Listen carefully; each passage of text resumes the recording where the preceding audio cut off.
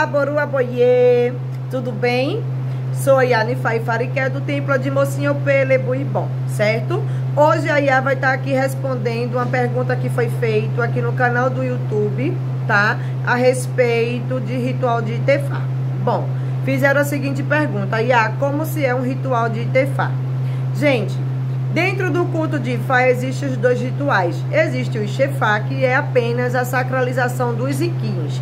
Não é iniciação nenhuma. As pessoas se iludem com Ixefá e já acham que está dentro do culto arrasando. Nada a ver. Fazer Ixefá é sacralizar os seus iquins, você receber o seu ojubó e você começa a aprender a fazer Ossé e aprender a cultuar e conhecer quem é Ifá Urumilá. Apenas isso.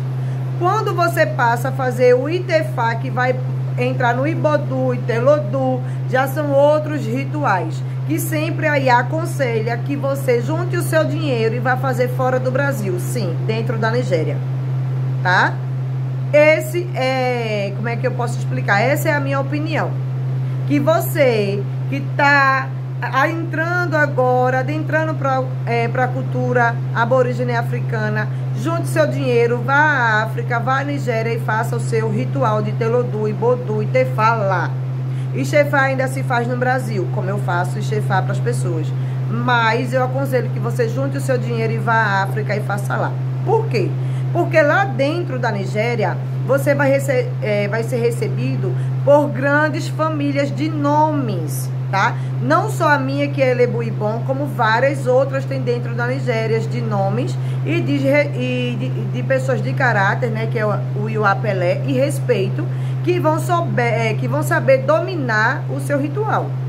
Tá? Não adianta você pagar 15 mil reais aqui no Brasil, aonde apenas um sacerdote, um oluô, né? vai estar fazendo o seu ritual e o resto tudo brasileiro e tudo homo e fá, aprendiz.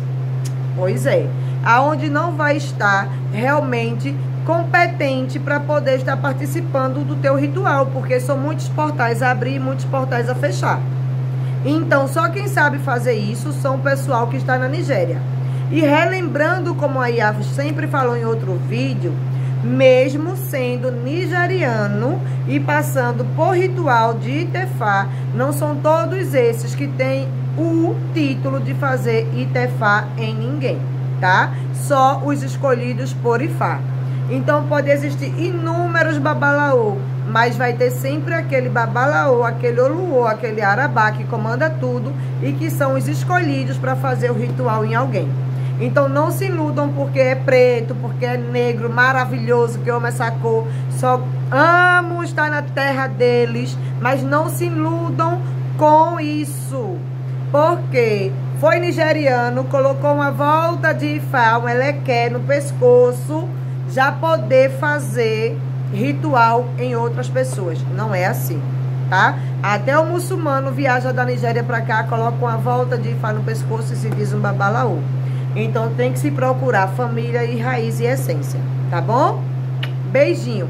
E para descobrir como é o ritual, só passando por ele. Axé, ireu!